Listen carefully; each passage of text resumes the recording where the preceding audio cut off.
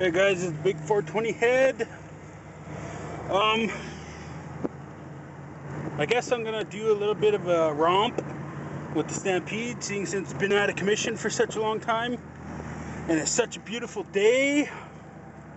Finally gonna do a run for you guys outside during the day, and I got a sweet spot. So, uh, kick back, spark one up, and enjoy the show. This is gonna be fun.